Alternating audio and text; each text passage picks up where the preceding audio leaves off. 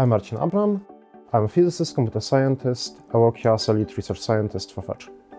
I created an example of agents who are detecting uh, availability of parking spots. I wanted to show an example of how agent can provide value.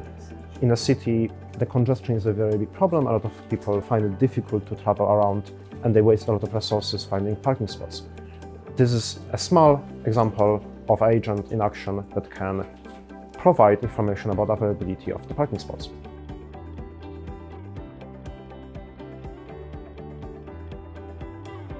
It is only the first stage where we are collecting data in real time. But what is more interesting is to have agents that are going to build predictions. We can also use any kind of sensors like temperature, uh, video, audio to measure whatever other signals and build models based on it. As there is more agents in the system, there will be more synergy between them.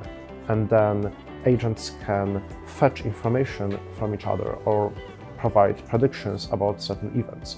So we are excited to get the community involved.